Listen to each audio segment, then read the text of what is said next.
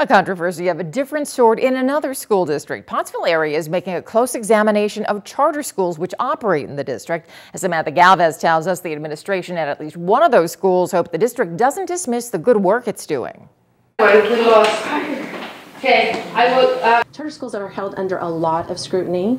We are held, in my opinion, more accountable than a lot of traditional schools are. Nicole Hutchinson has always believed in an alternative method to learning and feels that all parents should have a say in their child's education. We're allowed to do other things. We're allowed to be experimental. That's why Pennsylvania wanted charter schools is to bring more choice, to bring more more voice, and also to give schools opportunity to try different things. After this month's workshop, which introduced the new committee, this left parents with much concern. We had some parents who were concerned.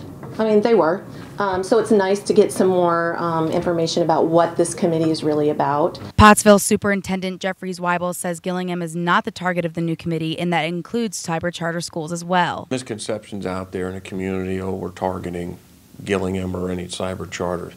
Again, we're just trying to keep a close eye on the money.